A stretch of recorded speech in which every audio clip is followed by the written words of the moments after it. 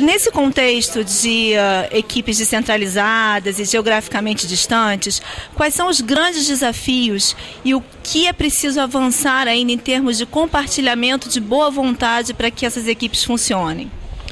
Quando você fala de boa vontade, você está falando de uma mudança no protocolo social. Quer dizer, como é que as pessoas vão se relacionar. E a gente não parte do zero disso. Né? As pessoas elas conhecem pessoas e elas desconhecem as pessoas. Tentar usar a tecnologia para fazer o suporte disso é válido, mas toma tempo. Né? Tecnologia não transforma na água em vinho. Nunca vai fazer isso. Então, à medida que você pode ter encontros semanais, à medida que você pode colocar, você consegue colocar essas pessoas para se encontrarem fisicamente, não só remotamente, ajuda muito no que vem da tecnologia depois, porque confiança é uma coisa que a gente a gente alcança pessoalmente.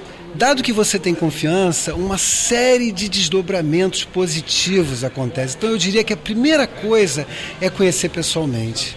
Eu, eu, eu acredito que a tecnologia vem depois disso, não antes disso. Qual o principal desafio quando a gente fala em comprometimento de equipe e comprometimento institucional? A comprometimento institucional é história, narrativa. Eu estive aqui, eu estou aqui, eu estarei aqui, eu conheço você, vivemos aquela situação, enfrentamos aquele problema. Quer dizer, isso é história do ser humano, é, é, é, viver, é viver junto, é o compartilhar, propriamente dito.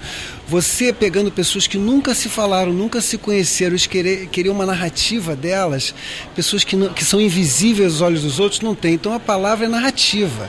Um exemplo que eu gosto de usar, uma analogia, é a fotografia e o filme. Fotografia é aquele momento. O filme está contando o passar do tempo. O ser humano ele está acostumado com o passar do tempo. Fotografia é uma coisa nova para gente, né? Histórias, as pessoas se sentavam, sentavam no fogo e contavam histórias umas para as outras, né? Pintar, desenhar, mostrar fotos é bem atual. A gente não está acostumado com isso ainda não. E qual o caminho para vencer essas barreiras? O caminho de novo é colocar as pessoas sempre para interagir. Às vezes a abobrinha é muito importante. Quando a gente vai para essa lógica da, da eficiência, da lógica da perfeição, a gente elimina uma série de coisas que, que atrapalham o conhecimento do outro, a crença no outro. Então, é a, passar tempo junto, almoçar junto, é, ir, ao, ir ao, ao, Maracanã junto, a gente está no Rio de Janeiro, é, esse tipo de, de, de, do relacionamento, né, que não ficar procurando só o, o, o filé mignon, né, tem outras partes do, do, do da, da vaca que são muito gostosas também, a gente tem que comer junto tudo e não só uma coisinha, né, é o estar junto.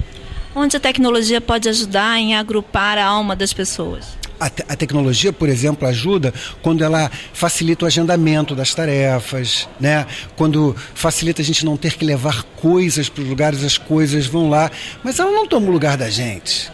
Ou ainda não tomou o lugar da gente, eu sou um daqueles que acredita que não vai tomar o lugar, ela está dividindo com a gente. Quando você faz uma busca, né, esse relacionamento digital analógico, humano, computação, ele é muito, ele é muito dinâmico. Por exemplo, quando você faz uma busca e você tem uma série de respostas e você escolhe uma daquelas respostas, você começa com o comportamento humano, você vai para o comportamento da rede, depois você volta para o comportamento humano. Quer dizer, esse relacionamento analógico digital ele está ele tá rolando já, mas acreditar que basta o digital e esquece o analógico, eu não, eu não acredito nisso.